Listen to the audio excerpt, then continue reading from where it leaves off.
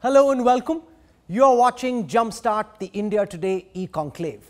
The Modi government has announced a five-part economic stimulus package. Will the government's announcements help the economy pivot from survival to revival? For the last three weeks, we've been hearing from senior ministers in the Modi Sarkar and separately from the chief executive officers of some of India's biggest and small companies. So then we decided why not set up a bridge, a public platform for key policymakers to interact directly with India Inc. I am delighted to be joined on this edition of Jumpstart by one of the most important ministers in the central government, the Union Minister for Transport, Highways, Micro, Small and Medium Enterprises, Nitin Gadkari. Gadkari ji, welcome and thank you very much for agreeing to be part of this important conversation. To get a sense of what India Inc. thinks of what's been done and what more is required, I am joined by five top executives who run important companies in key sectors of our economy. For a perspective from the automobile sector and to interact with Nitin Gadkariji, we have Dr. Pawan Goenka, Managing Director, Mahindra and Mahindra. To talk about the problems of the civil aviation sector, we have Ajay Singh, Chairman and Managing Director, SpiceJet.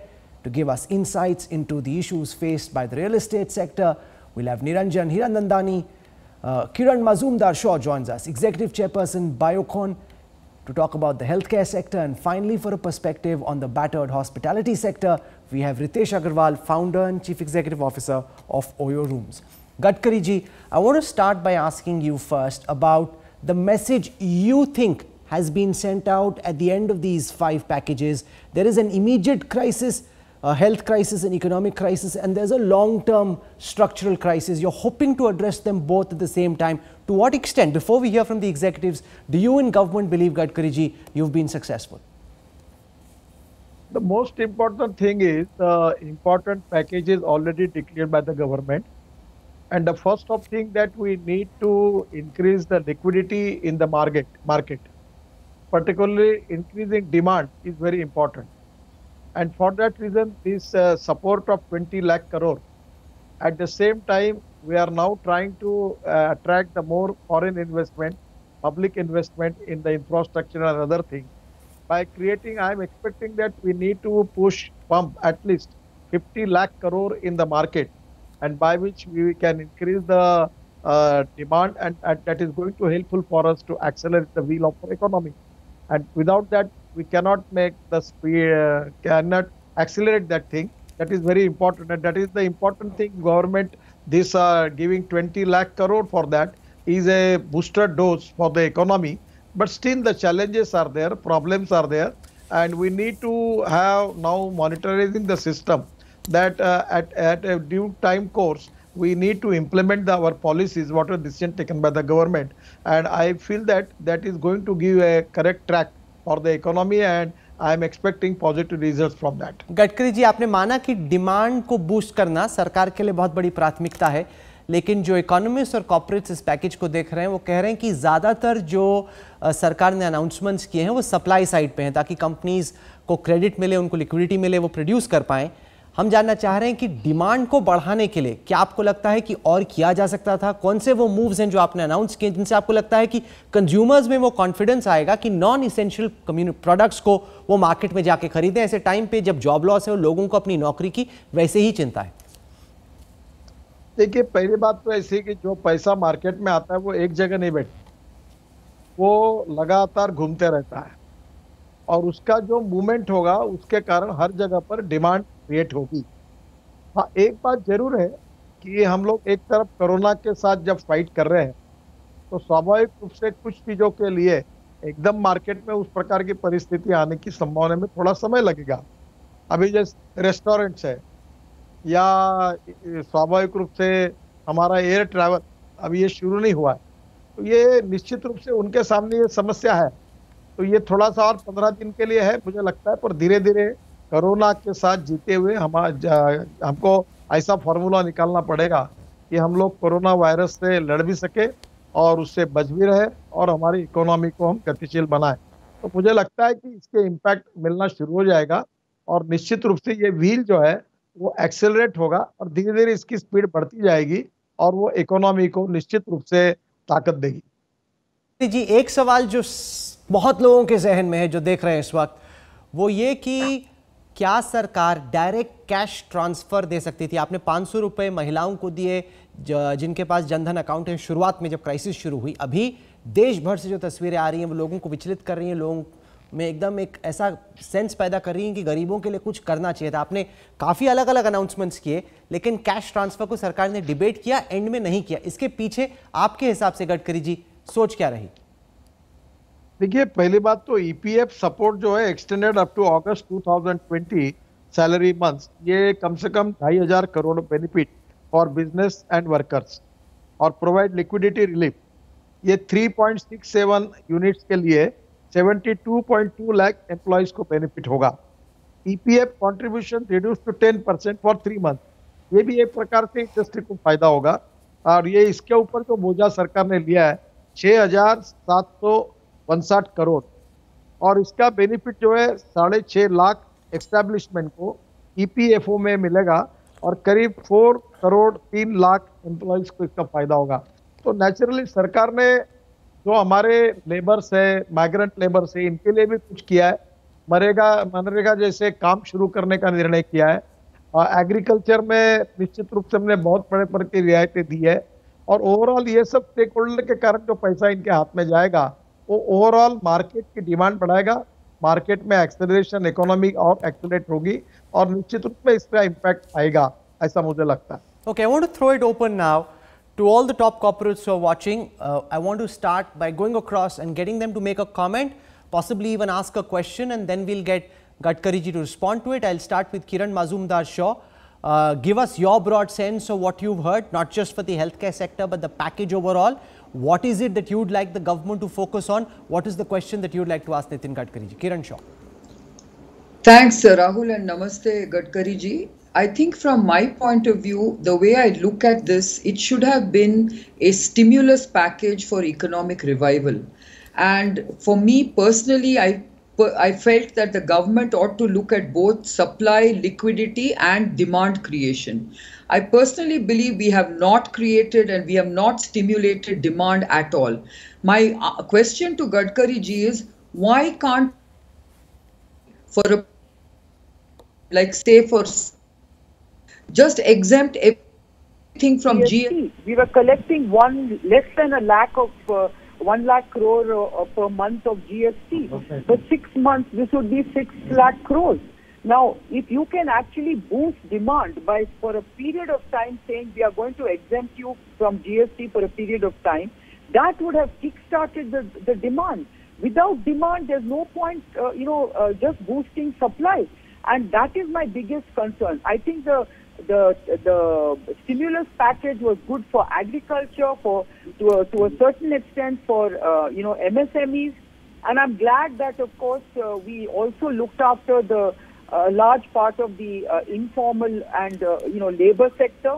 Uh, and I know Manrega also has had an additional 40,000 crores uh, announced today. But remember, already Manrega had been slashed in the last budget. So this is just making up for that. So I personally believe infrastructure and GST, of course, is, is a big concern for me saying, look, UK did away with VAT to stimulate uh, demand. Why can't we think of more innovative things to uh, get people to start spending? Mr. Hirandani, give us your broad sense of the package and what more you believe the government ought to be focusing on.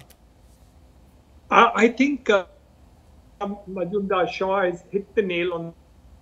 Uh, the package, stimulus package, which has been produced, has definitely, definitely divided into three parts. The first part being the supply side, where I think a wonderful job has been done. Excellent, and I could not have probably done better. And I think that's a thing that the government needs to be complimented on and did a wonderful thing. Number two, uh, I do feel also that the reform package, though I don't see uh, how it is coincided with the COVID part of it, but I'm very happy with the fact that the uh, reform package is already put on the table. And I think that's extremely important. Uh, the third part of it is the question of getting this liquidity over to the actual corporate entities which are there, which according to me is going to be a very big challenge. 8 lakhs 50,000 crores plus of the banking system is lying with the Reserve Bank of India. Yes, the two fields of activity which uh, Mr. after, which is SMEs as far as infrastructure on roads is concerned, I think has given a big boost and I can rely and trust on him. We know him extremely well for his proactiveness in terms of infrastructure work and the commitment that he's talking about 10 lakh crores of rupees of highways and roads to be done and the amount given for MSMEs. But the demand side is certainly missing completely. And this is uh, what I support. Even if we don't get a 100% cut in GST, as has been asked, even if a 50% cut in GST for the next six months of it is done, I think a demand side incentive is required in the market in order to uh, take up that part. The okay. second part of it, which I feel is necessary to do, is the migrant labor. Yes, you're talking about giving money to it. I'm okay and fine, and I'm very happy that they have done it. I want them to stop allowing them to walk on the highways.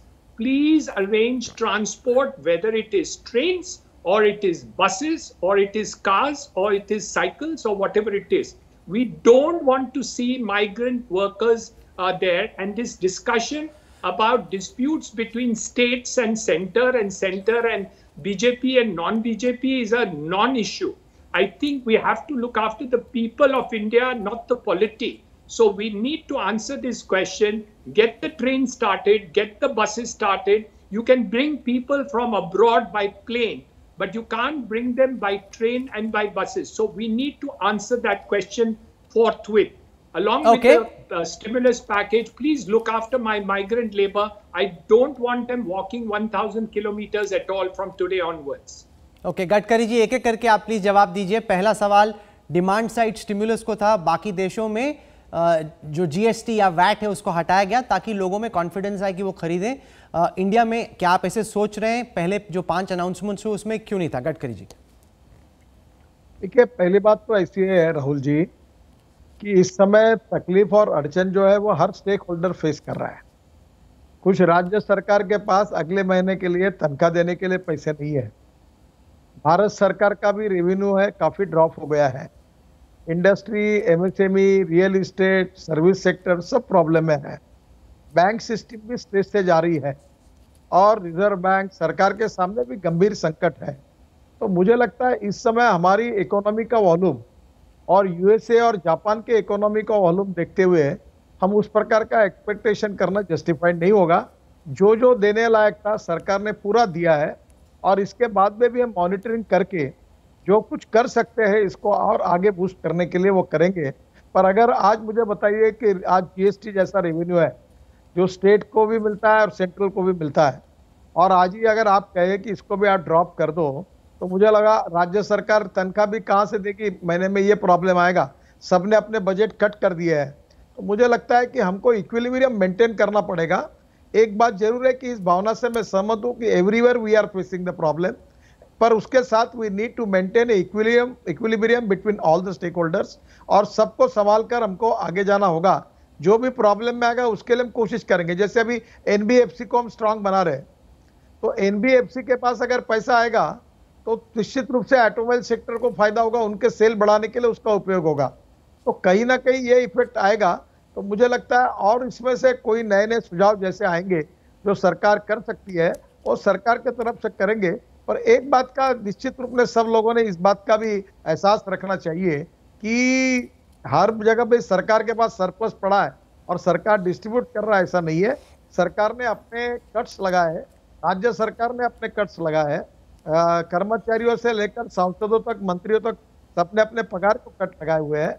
और उसके बाद में भी हम लोग जो निरंजन जी ने कहा कि जो गरीब मजदूर है माइग्रेंट लेबर है, उसकी चिंता हम सबसे पहले करें। और निश्चित रूप से सरकार इस प्रकार की लगातार योजना कर रहे हैं। अभी देखिए स्टेट गवर्नमेंट के ट्रांसपोर्ट टोटली लॉस मेकिंग है। सर्वाइवल भी नहीं हो सकता ऐसी स्थिति है फिर भी अपनी गाड़ियाँ बसेस निकाल कर डीजल भर के अपने बॉर्डर पर जाकर लोगों को ले रहे हैं। तो कहीं ना कहीं ये ब्रेकिंग पॉइंट कहाँ है? लिमिटेशन कहाँ है? ये हम सबको एक दूसरे की समझते हुए ही हमको निर्णय करने पड़ेंगे। तो ही इससे हम लोग निकल पाएँगे। एक बात ज़रूर है कि इसमें जो भी फिसल जाएगा उसके लिए थोड़ा ज़्यादा इफोर्ट्स करके संभालना होगा और फिर सबको चलाना होगा। That is only the way out इस बार सब एक्सपेक्टेशन सब सेक्टर के पूरे करना, ये हमारी इकोनॉमी का वॉल्यूम देखते हुए भी हमारे लिए बहुत कठिन है। ये भी एक एंगल सबने सोचना चाहिए। दूसरा सवाल उनका हीरानंदानी जी का था, ये जो स्टेट्स और सेंटर के बीच में हम लोग सुन रहे हैं कि कौन पे करेगा या कोऑर्डिनेशन की कमी है ऐसा क्यों हो रहा है? क्या ये नहीं हो सकता कि इसको नेशनल क्राइसिस समझकर सारी पॉलिटिक्स को किनारे करते हुए सब फोकस करें कि माइग्रेंट्स घर पहुँच जाएँ उनके पास राहत हो इस तरीके से सड़क पे ना वॉक करें। आ, उससे लोगों को बहुत चोट पहुँच रही है और जानना चाह रहे हैं कि ऐसा क्यों हो रहा है कि ये चीज़ें पॉलिटिक्स में थोड़ी उलझ रही हैं। मुझे लगता है ये पॉलिटिक्स में नहीं उलझ रही थी जो रिस्ट्रिक्शंस हमने स्वीकार किए थे। और बस में भी हमको वन मीटर से ज़्यादा सोशल डिस्टेंस मेंटेन करना था। और अधिकार हमने डिस्ट्रिक्ट कलेक्टर को दिए थे तो स्वाभाविक रूप से दोनों भी बातें हैं राहुल। एक तरफ़ बसेस में अगर ये जाएँगे और कोरोना स्प्रेड आउट होगा तो आप दूसरे बाजू से तुरंत सब लोग कहेंगे कि इनको समझ में नहीं आता क्या? लोगों को इतने बड़े में क्यों बिठाया। तो कहीं ना कहीं आज ये कठिन स्थिति में हम जा रहे हैं। हर आदमी थोड़ा सा कंफ्यूज भी है और इसलिए डिसीज़न मेकिंग प्रोसेस में जितना ट्रांसफ़र स्टेट डिसीज़न करने में हमें जो सुविधा थी वो आज नहीं है। और इसलिए मैं नहीं मानता कि राज्य सरकार और केंद्र सरकार और राज्य सरकार के बीच में कोई राजनीति है। इसमें दो चार दिन में वे आउट निकल जाएँगे क्योंकि डिस्ट्रिक्ट कलेक्टर जो होते हैं उनको अधिकार दिए हैं। अब तो स्वाभाविक रूप से बसेस लेना उनको बिठाना और बॉर्डर तक पहुंचाना लगभग सभी स्टेट ने अब इसको हाथ में लिया है। एक एक दो दिन में ये काफ़ी आज के डिक्लेरेशन के बाद ये रेगुलराइज होगा। और मैं आप, बिल्कुल आपको प्रामाणिकता से बताना चाहता हूँ कि ये टाइम राजनीति करने का नहीं है। जात, पंथ, धर्म, भाषा, पार्टी और राजनीति से ऊपर उठकर हम सबको निर्णय करने पड़ेंगे और देश को आगे ले जाना पड़ेगा। और इसलिए प्रधानमंत्री जी और भारत सरकार की सोच यही है कि हम स्टेट के साथ खड़े हैं। जितना होगा उनका सब सहयोग करेंगे और किसी प्रकार की राजनीति नहीं होगी, इसके लिए हम लोग पूरी तरह से प्रयास करेंगे। और ये इसी लाइन पर हमको आगे जाना पड़ेगा। यही समाज के और देश के हित में Okay, I'll take uh, the next comment and question from Dr. Pavan Goenka. He runs Mahindra and Mahindra.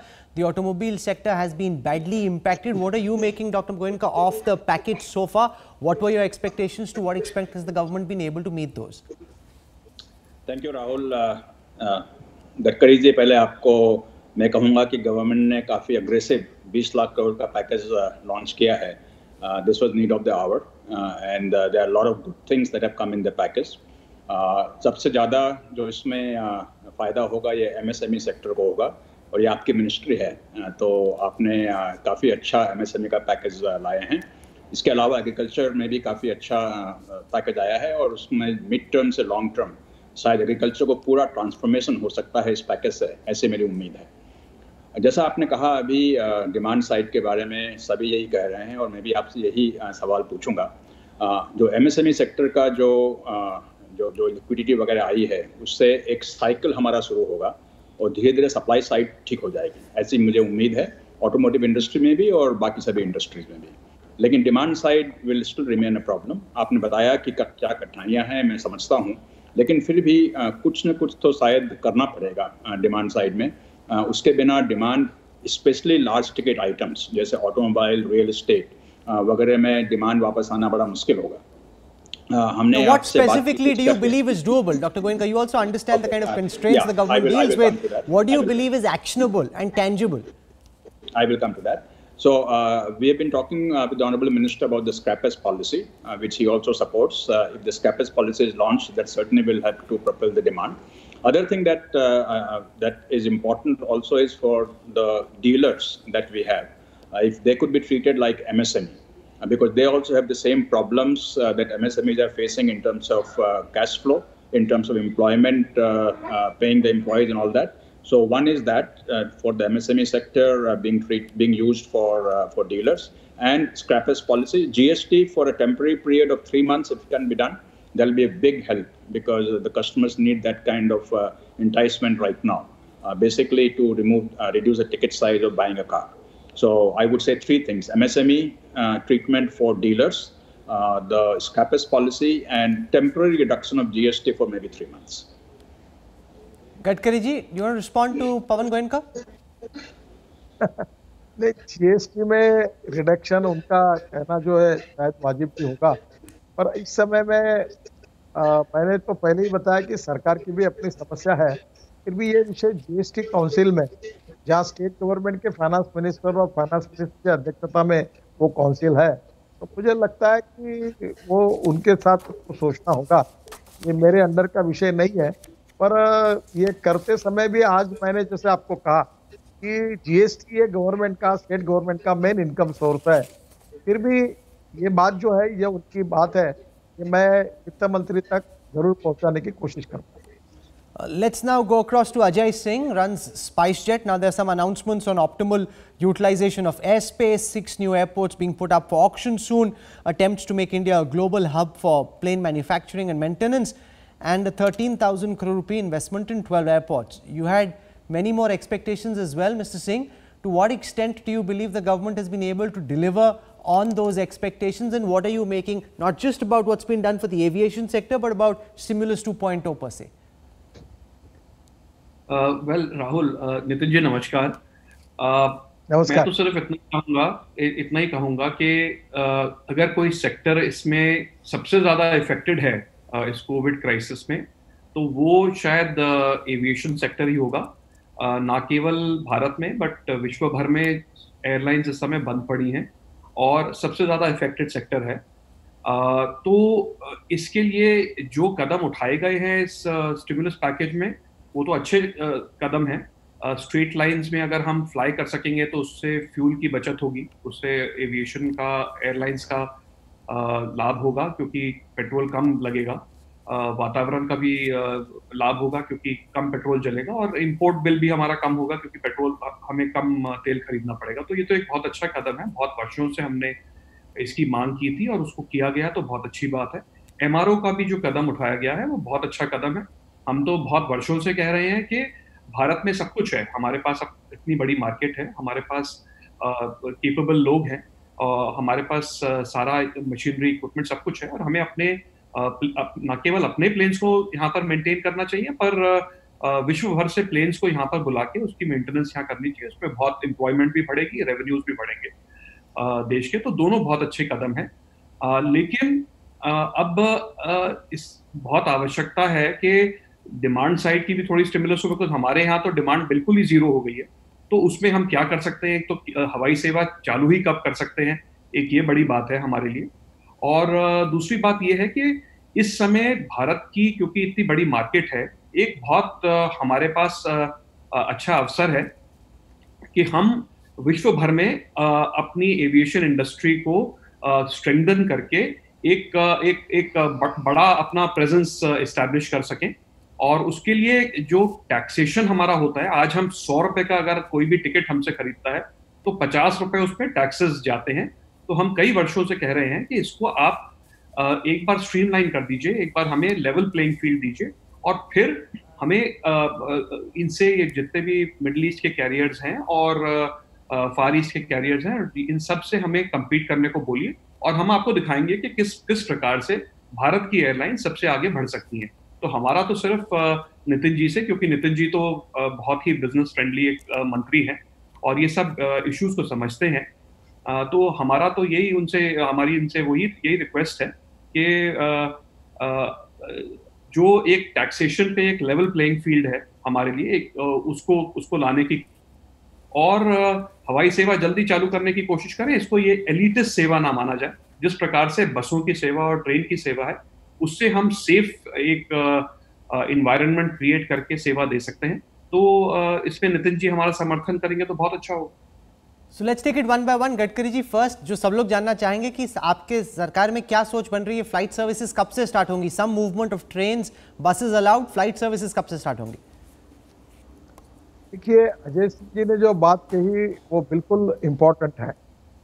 क्योंकि वर्ल्ड की एयरलाइन के साथ जैसे एमआरओ है नागपुर में एयर इंडिया का एम यहाँ शुरू है और वो बोइंग ने हमको बना के दिया था जब हमने फ़्लाइट खरीदी किए थे। तो हमारे यहाँ यहाँ से इंडिया से सिंगापुर जाने में एयरलाइंस को सस्ता होता है सर्विसिंग करना, पर यहाँ इंडिया में करना महँगा होता है क्योंकि हमारे यहाँ जो इम्पोर्टेड मटेरियल आता है, जो यहाँ तैयार होता है, उसके ऊपर बहुत बड़ा जीएसटी है। टैक्स एक प्रॉब्लम था। स्वाभाविक रूप से एम का टैक्स का जो है, इसके बारे में एविएशन के साथ भी चर्चा हुई थी। और फाइनेंस मिनिस्टर के पास भी कही थी, उसके ऊपर वर्कआउट होगा। जो टिकट पर भी टैक्स लगता है, वो भी बिल्कुल सही मुद्दा है कि इंटरनेशनल कंपटीशन में, अभी कतार या दुबई की एयरलाइंस आती है, अब उनके लिए वहाँ एडवांटेज होगा और स्पाइस जेट के लिए और इंडिगो के लिए या हमारे यहाँ के एयर इंडिया के लिए नहीं होगा तो फिर प्रॉब्लम आएगा। तो हमको कहीं ना कहीं वो पैरिटी मेंटेन करनी पड़ेगी। और तीसरी बात जो है ये सब बातें जो है ये अजय जी और बाकी लोग रिप्रेजेंट करते रहे पर एक अजय जी एक एडवांटेज हुआ है कि अभी एविएशन फ्यूल के रेट भी काफ़ी कम हुए होंगे। क्योंकि वर्ल्ड में जिस प्रकार से ये जो आ, आ, पूरा क्रूड का कीमत कम हुई है उसमें थोड़ा बहुत सेविंग हमारे एविएशन को मिलेगा।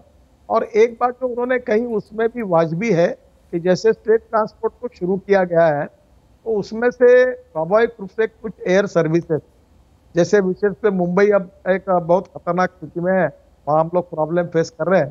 पर मुंबई को छोड़कर बाकी जो कैपिटल है, उसमें बड़े शहरों को जोड़ने के लिए, जैसे स्टेट ट्रांसपोर्ट कोई गाइडलाइंस देकर कर रहे हैं वैसा कुछ हो सकता है क्या?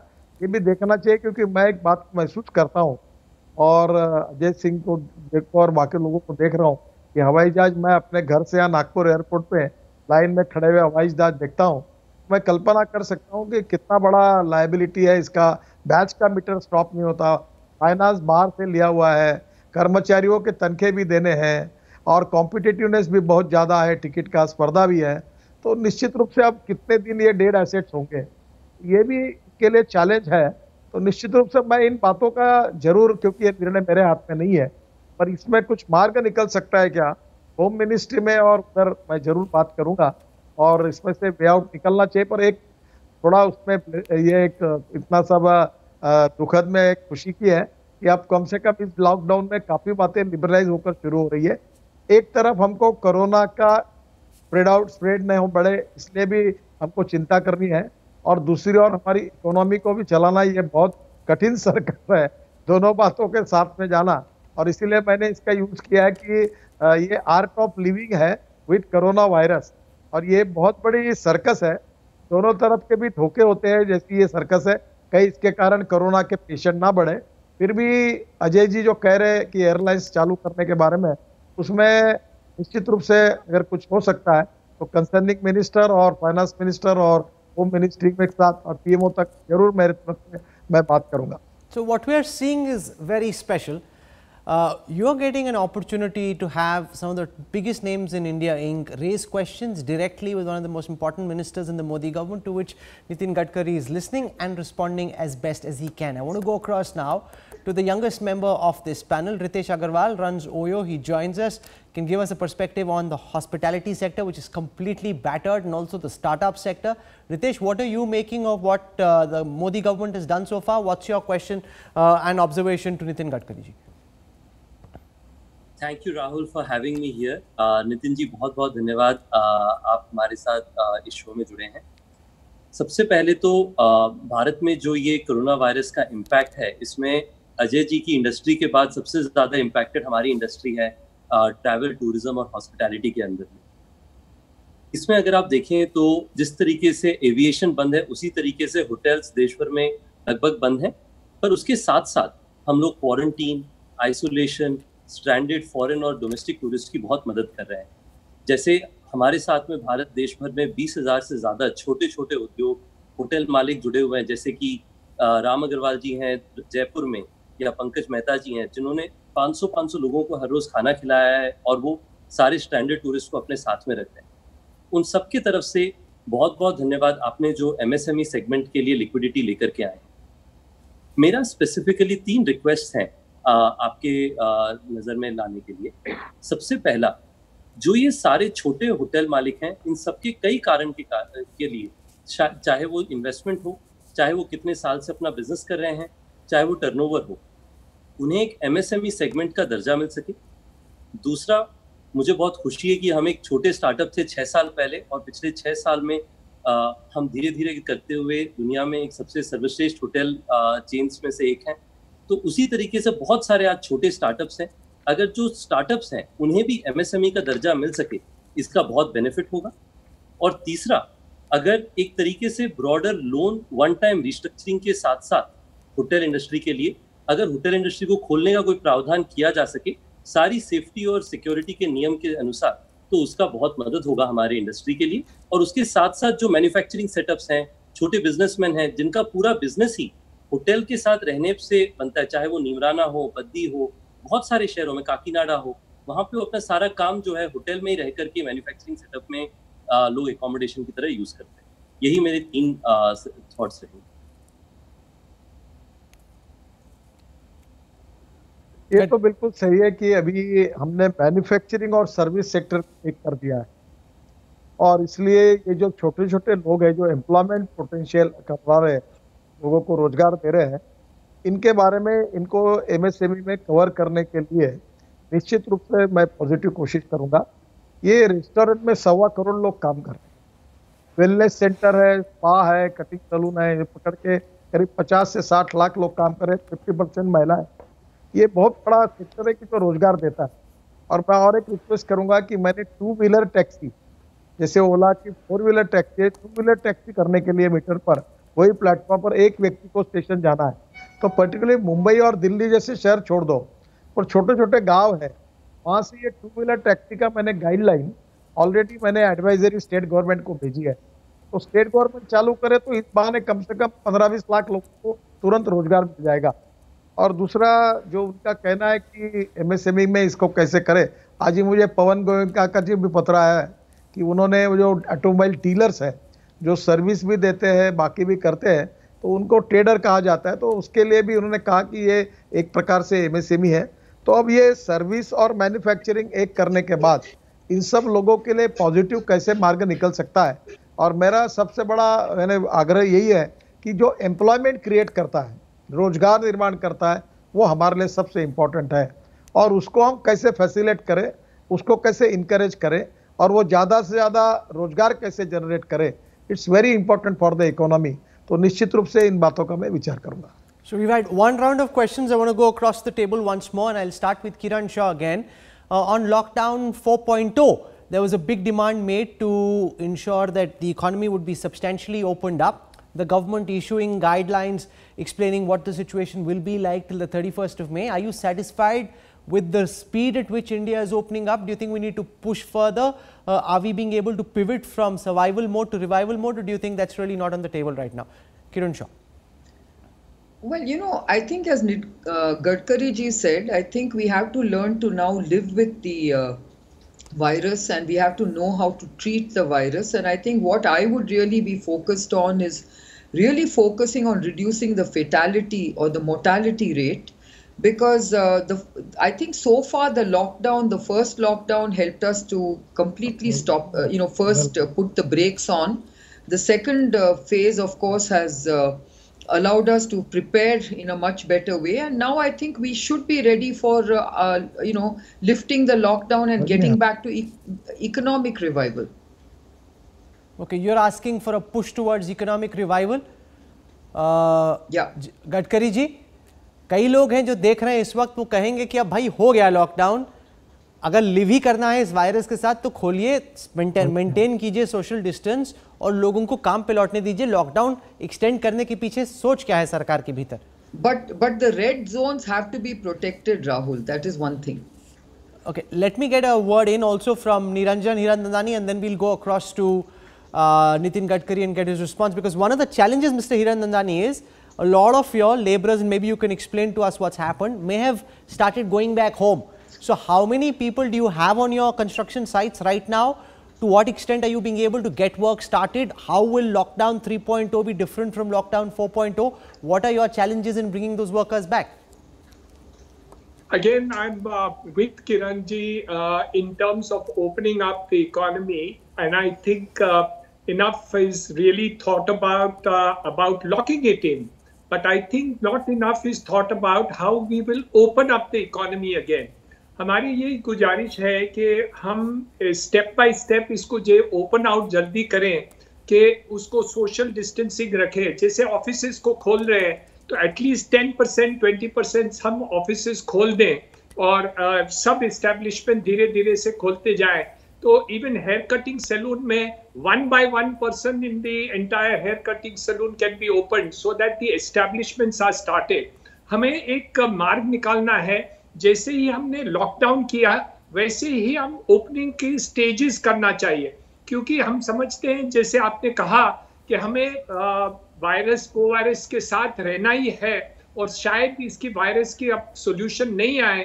तो हम समझते हैं कि इसको टाइम लगेगा। तो हमको ये छोटे छोटे जो भी इस्टेब्लिशमेंट है तो एक हेयर कटिंग सलून में एक आदमी तो जाके हेयर कटिंग करा के आ जाए तो ऐसे कोई मार्ग निकले। सेकेंड पॉइंट में जो कहना चाहता हूँ कि हमारे देश में जैसे जर्मनी और अमेरिका ने नेशनल हाईवेज किए थे not for making for cars but उन्होंने डिप्रेशन में लोगों को एम्प्लॉयमेंट जनरेशन करने के लिए किया था।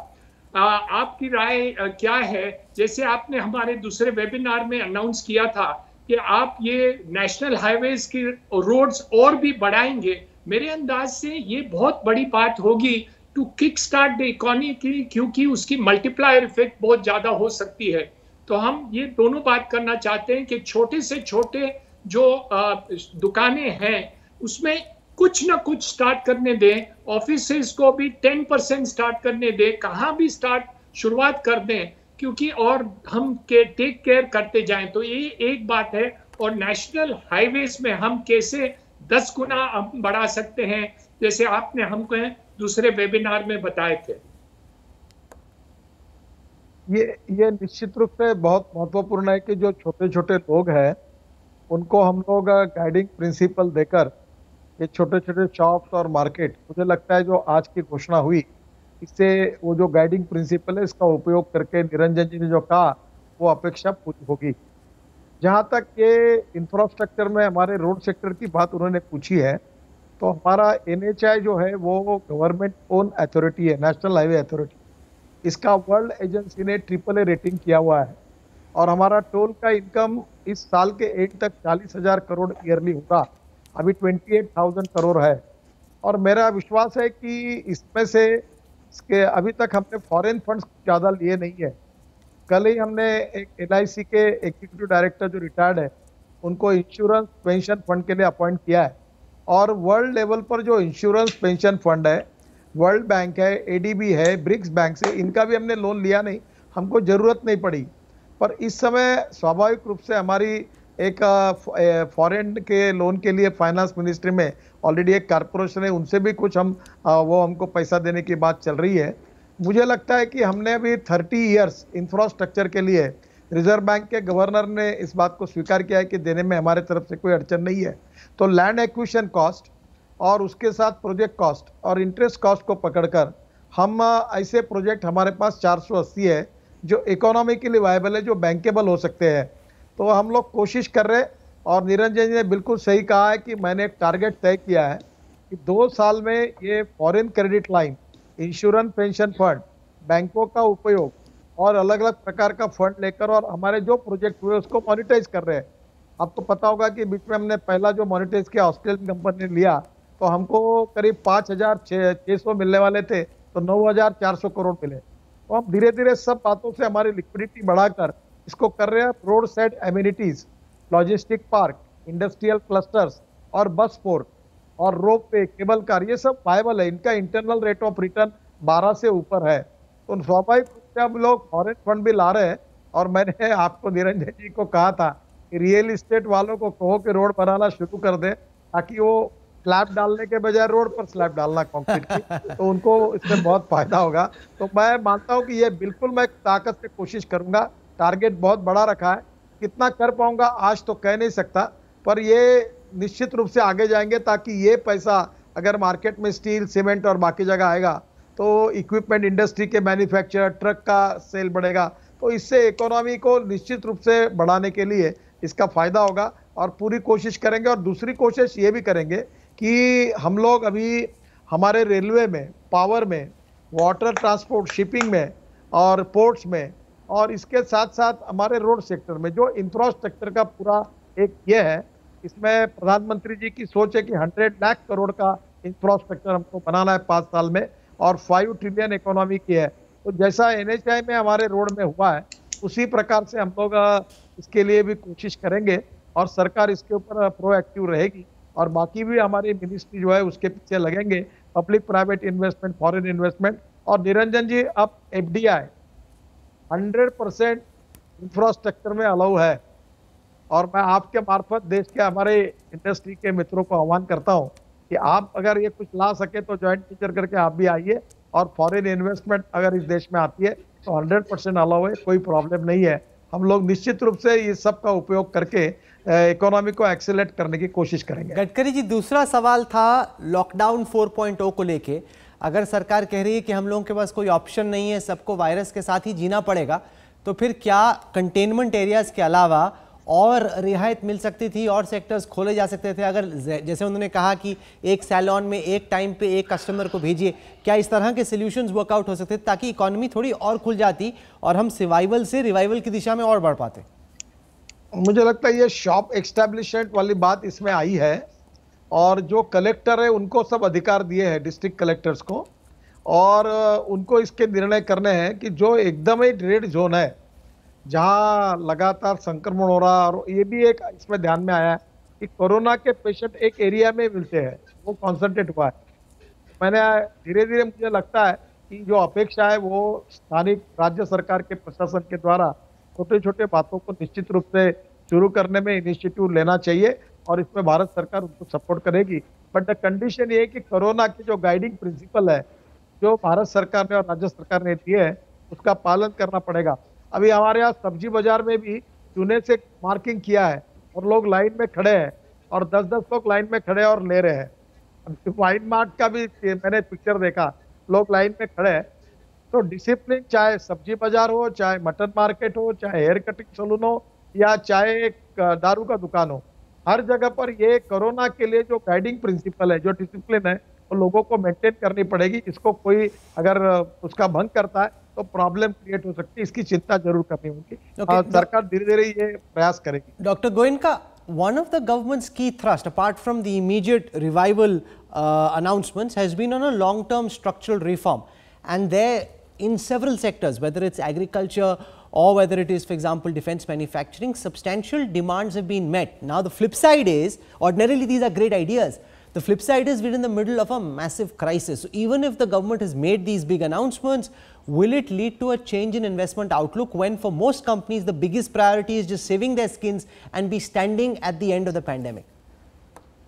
So let me uh, let me uh, say Rahul, uh, uh, मैं मिनिस्टर साहब को बोलूँगा कि हर क्राइसिस एक अपॉर्चुनिटी होती है the old saying is that a crisis is terrible thing to waste जो अनाउंसमेंट किए गए हैं अभी स्ट्रक्चरल uh, रिफॉर्म के these are all mid to long term these are not something that will give us benefit immediately but we have to take advantage of this current situation and make such reforms तो पहली चीज़ मैं ये कहूँगा कि अगर जो अभी reform announce किए गए हैं शायद गवर्नमेंट आगे जाकर अभी कुछ अगले चार छः हफ्तों में और भी रिफॉर्म्स uh, सोच सकते हैं अनाउंस कर सकते हैं because reforms are not physical burden and this reforms will give us unshackle the economy for the longer term दूसरी चीज़ मैं ये कहूँगा कि जो मैन्युफैक्चरिंग है जैसा हमारे प्राइम मिनिस्टर साहब ने कहा था कि हमें इंडियन खरीदना चाहिए और उसके बारे में हमें बात भी करनी चाहिए। मैन्युफैक्चरिंग में काफ़ी अपॉर्चुनिटीज़ अभी हैं क्योंकि चाइना से भी मैन्युफैक्चरिंग इंडस्ट्री थोड़ी थोड़ी निकल रही हैं और हमें क्या करना है इंडस्ट्री को और गवर्नमेंट को साथ साथ काम करके। हमें क्या करना है कि हमारी मैन्युफैक्चरिंग इंडस्ट्री जो है एक ग्लोबल हब बन सके मैन्युफैक्चरिंग के लिए इन सम आइडेंटिफाइड सेक्टर्स तो उसमें मिनिस्टर साहब के अगर कुछ सुझाव हों हमारे इंडस्ट्री के लिए गाइडेंस हो कि हमें क्या करना चाहिए साथ साथ काम करके। जहाँ तक इन्वेस्टमेंट का सवाल है राहुल अभी तो फ़िलहाल I think for the next three to six months everybody will be conserving cash and will probably be watching investment very carefully. But I think then economy starts picking up, we would see investment back. But right now, clearly, everybody has ample capacity to make enough uh, of whatever they are making for, okay. for quite some so time. I want to get a word in also from Ajay Singh and Ritesh, and then we'll go back to Gadkari ji and get his response so that everybody gets a word in. I'll start with Ajay Singh. Uh, do you think it's too slow? Are you a bit disappointed with the fact that some of the key demands that you had for the aviation sector haven't been met?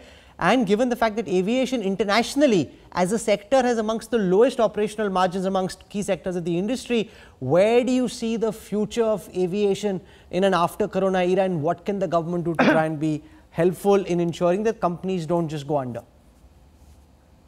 Look Rahul firstly मैं तो सिर्फ इतना ही कहूँगा कि government ने जिस तरह से कोरोना की क्राइसिस को हैंडल किया है uh, वो एक सराहनीय है और uh, we should not be second guessing this government उनको जो ठीक लगा उन्होंने किया। उसका हमें सम्मान करना चाहिए।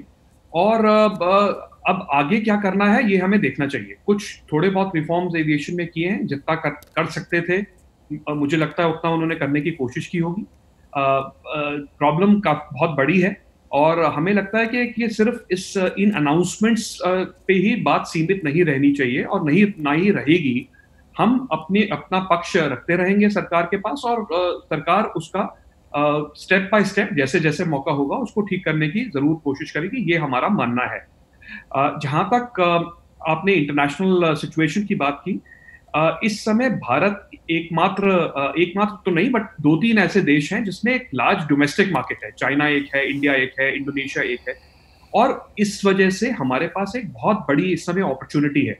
और अपॉर्चुनिटी ये है कि आज सारे मैन्युफैक्चरर्स को और सारे जितने भी सर्विस प्रोवाइडर्स हैं उनको आके भारत में चाइना में इंडोनेशिया में जहाँ मार्केट्स हैं उसमें काम करना है। आप देखिए जितने नेटवर्क कैरियर्स हैं Emirates Etihad Qatar Singapore airlines ये जो लोग एक देश से दूसरे देश लोगों को ले जाते थे उन उनका नुकसान ज़्यादा होगा और जो डोमेस्टिक मार्केट वाले हैं उनका फ़ायदा होगा। तो इस फ़ायदे को अगर हम एक टीम बन, बना के जिस प्रकार से पवन जी कह रहे थे we are all one team India साथ में मिलकर हम देखें कि इस इस बात का हम फ़ायदा कैसे उठा सकते हैं कि हमारी इतनी स्ट्रॉन्ग डोमेस्टिक okay. मार्केट है और एक बहुत बड़ा सेक्टर एविएशन हो सकता है। और अगर नितिन जी हमारी इसमें मदद करें कि हम सब लोग साथ मिलके पॉलिसी मेकर सरकार इंडस्ट्री प्लेयर सब मिलके एक एक इसका ब्लूप्रिंट बनाएँ तो एक बहुत ही इस इस क्राइसिस का एक एक एक बहुत ही फ़ायदा हमें मिल सकता है। Okay Ritesh Agarwal your sense on the hospitality sector and the fact that there'll be a fear amongst people in wanting to come back to hotels at least initially about hygiene, about the food that's being brought in, about the need to travel. So how do you see business in the after corona era and what can the government do to try and help you get back to your feet quickly?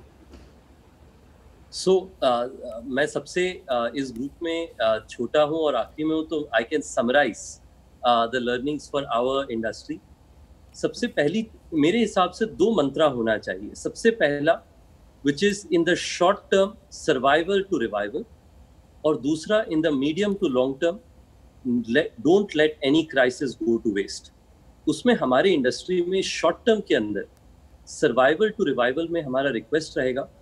हमारी पूरी hospitality industry में हमने एक SOP तैयार किया हुआ है, जिससे कि राइट फ्रॉम एंट्री मार्किंग होगी थर्मल स्कैनर से हम लोग चेक करेंगे टेम्परेचर क्या होगा। सारे होटल्स की सैनिटाइजेशन बनी रहेगी। उसके साथ में किस तरीके से होटल इंडस्ट्री को धीरे धीरे करके खोला जा सके? जैसे कि अजय जी ने और बाकी हमारे लीडर्स ने कहा कि बहुत सही डिसीज़न लिया लॉकडाउन का in order to make sure सबसे पहले कर्व फ्लैट हो सका। But now we will need to learn to live with virus और मीडियम से लॉन्ग टर्म में मेरा थॉट रहेगा कि मनरेगा और इक्वलेंट स्कीम से रूरल इकोनॉमी में मेरा बिलीफ है और जो कई सारे सेगमेंट्स भी कह रहे हैं कि काफ़ी सिग्निफिकेंट बूस्ट आएगी। हमारा होप रहेगा कि एमएसएमई सेगमेंट के अंदर में किस तरीके से छोटे किसान और बाकी बिजनेसमैन को फार्म लिविंग और होम स्टेज की तरफ़ बढ़ावा दिया जा सके, उससे एक बहुत significant domestic tourism as well as local rural economy को सिग्निफिकेंट बूस्ट मिल सकता है, ऐसा मेरा मानना है। तो ये मेरे दो शॉर्ट टर्म और मीडियम टर्म थॉट्स हैं। गडकरी जी ऐसा इंडिया में क्यों होता है कि सरकारें वो किसी की भी हो सबसे बड़ा रिफॉर्म ड्रामेटिक रिफॉर्म वो क्राइसिस के बीच में ही करती हैं। uh, 1991 में भी नरसिम्हा राव और मनमोहन सिंह के साथ ऐसा हुआ। अभी भी कई सारे डिमांड जैसे FDI in defence from 49 to 74 percent बहुत टाइम से चल रहा था नहीं हो सकता नहीं हो सकता नहीं हो सकता। सडनली इतनी बड़ी क्राइसिस हुई और आपने बोला अच्छा हो गया अब how do you see this pay dividends in time to come देखिए, पहली बात तो ऐसी है कि जब जिस दिन से प्रधानमंत्री मोदी जी के नेतृत्व में हमारी सरकार आई है, हम ईज ऑफ़ बिज़नेस और इकोनॉमिक रिफॉर्म लगातार ये हमारा एजेंडा पर रहा है। और आपको राहुल, ये पता होगा कि ईज ऑफ़ बिज़नेस में वर्ल्ड बैंक ने हमको काफ़ी ऊपर लेकर रैंक भी मिला है। और स्वाभाविक रूप से इकोनॉमिक रिफॉर्म ये हमारे लिए प्रायोरिटी का एजेंडा रहा है। और लगातार सरकार इसके निर्णय कर रही है। और प्रधानमंत्री जी की सोच लगातार आर्थिक के बारे में उन्होंने कहा है कि ईज ऑफ़ बिज़नेस के बारे में कहा है कि रिफॉर्म ट्रांसफॉर्म और उसका परफॉर्म तो ये रिफॉर्म ट्रांसफॉर्म और परफॉर्म वाली थेरी ये प्रधानमंत्री जी की खुद की थेरी है। और इसलिए मैं आपको बताता हूँ कि अब रिफॉर्म की प्रोसेस तो लगातार ये कंटिन्यूस प्रोसेस है। ये कभी ख़त्म नहीं होती। ये लगातार आती रहती है और जो जो सजेशंस इन लोगों ने दिए हैं ये बहुत वैल्यूएबल सजेशंस है। और पहली बात तो ऐसी ये करने के बाद भी और सजेशंस आएँगे। इम्पोर्टेंट ये है कि हमारी सरकार की और प्रधानमंत्री की सोच इकोनॉमी थिंकिंग ये पूरी तरह रिफॉर्म की ओर है ईज ऑफ़ बिज़नेस की तरफ़ है। हमको एक्सपोर्ट को बढ़ाना है इम्पोर्ट को कम करना है। गरीब जो है, गाँव गरीब मजदूर किसान को केंद्र बिंदु मानकर इकोनॉमी को चलाना है।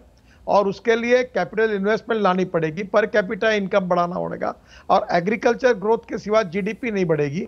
तो बिल्कुल इसके लिए क्या क्या लाइसेंस राज कैसे खत्म करें रिस्ट्रिक्शन कैसे खत्म करें पब्लिक प्राइवेट इन्वेस्टमेंट को लिबरल अप्रोच में कैसे मौका दे, और लगातार रिफॉर्म करते हुए कैसे आगे जाए, ये सूत्र पाँच साल में रहा है। बहुत कुछ काम हमारे सरकार ने किया है, पर और बहुत कुछ करने का बाकी है। मैं आपको इतना ही कहूँगा कि जो अपेक्षा इन सब लोगों ने व्यक्त की है, वो जो डायरेक्शन है, वो हमारी और उनकी एक ही है। और मैं ये मानता हूँ कि इस देश की गरीबी दूर करना, रोज़गार निर्माण करना, इस देश को वेल्थ को बढ़ाना, इस देश को सुपर इकोनॉमिक पावर बनाना, ये राजनीतिक विवाद का विषय नहीं बन सकता। और दूसरा, राहुल, एक बात समझिए फोर्टी सेवन के बाद आज तक तीन विचारधारा को लेकर देश चलता था। एक पूंजीवाद था, एक समाजवाद था और एक साम्यवाद था। अब चाइना और रशिया भी साम्यवादी नहीं रहे। वो भी लिबरल इकोनॉमी के पक्षर हुए। पर अमेरिका का जो यूएसए का जो मॉडल था, वो भी फेल हुआ है। तो मुझे लगता है अब सोशलिज्म भी लगभग नहीं के बराबर है। पर अब हमको ये सोचना होगा कि गरीब व्यक्ति को केंद्र बिंदु मानकर, गरीबी दूर करने के लिए, रोज़गार निर्माण करने के लिए हमारे यहाँ ईज ऑफ़ बिज़नेस और इकोनॉमिक रिफॉर्म करते समय हर समय गाँव गरीब मजदूर किसान के हितों की रक्षा करते हुए हमको आगे कैसे जाना है? अगर हम एक्सपोर्ट नहीं बढ़ाएँगे okay. इंपोर्ट नहीं कम करेंगे। अभी जैसे ये लेबर लॉस की बात हुई अब मुझे बताइए कि लेबर लॉस अभी तक जितनी इंडस्ट्री है उनके लिए कोई लेबर लॉस बदल नहीं रहे। पर आपको अगर फॉरेन इन्वेस्टमेंट चाइना से निकली हुई अगर हमारे देश में लानी है तो हमारे राज्य सरकार को सोचना है जिनको रोज़गार निर्माण करना है, जिनको वेल्थ क्रिएट करनी है तो वो आज वो जो लोग हैं, उनको ऑप्शन है। वो वियतनाम में भी जा सकते हैं, इंडोनेशिया में जा सकते हैं, और कहीं भी जा सकते हैं, इंडिया में जा सकते हैं। तो आज ये कॉम्पिटिटिव मार्केट में उनको हमारे यहाँ लाना होगा तो हमको कुछ उनकी बातों को भी रखना होगा। अगर वो रख कर अगर हमारे बाकी दस फ़ायदे हैं, हमारे गरीब लड़कों को रोज़गार मिल रहा है इकोनॉमी को फ़ायदा हो रहा है एंसिलरी डेवलप हो रही है तो मुझे लगता है ये करना चाहिए, यही देश की सोच है, यही इकोनॉमिक रिफॉर्म है। और मैं मानता हूँ कि देश के इस हित में सभी पार्टी एक लाइन पर आ सकती है। ये विवाद का और राजनीति का विषय नहीं बनेगा, क्योंकि देश सुखी, समृद्ध, संपन्न और शक्तिशाली बने सुपर इकोनॉमिक पावर बने फाइव ट्रिलियन की इकोनॉमी बने हंड्रेड लाख करोड़ का इंफ्रास्ट्रक्चर बने। यही तो बात प्रधानमंत्री जी बार बार कहते हैं, और उसी दिशा में हमको गति से जाना है। इसमें हमको निश्चित रूप से स्पीड बढ़ानी होगी उसके सिवा हम हमारे टारगेट को जल्दी नहीं पूरा कर सकेंगे okay. ऐसे मेरी सोच है और हम उसी लाइन पर है this has been a very engaging conversation at a time of such immense distress to have a senior minister engage so frankly and candidly and take questions from India Inc. and respond to their concerns and assuage uh, whatever apprehensions they may have has been very, very consequential and important. Nitin Gadkari ji for taking out time and joining us. Thank you so much. Thanks also to Ajay Singh, Pavan Goenka, Niranjan Hirandandani and also to Ritesh Agarwal for being a part of this Jumpstart conversation. I hope you enjoyed this. We hope to set up uh, more of these conversations where we'll have senior policymakers interact directly with those who are part of the same India story and trying to find a way of moving from survival to revival. Thank you for tuning in to Jumpstart.